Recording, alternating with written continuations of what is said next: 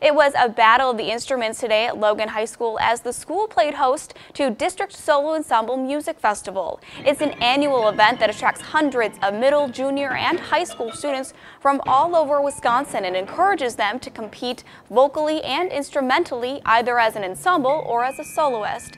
It allows students to hone in on their skills while engaging in some friendly competition. This is a really important festival. It, it gives the students something to work toward and it gives them uh, encouragement to practice and get better at their instruments. If students perform well today, they do have a chance to compete at State Solo Ensemble in April or May.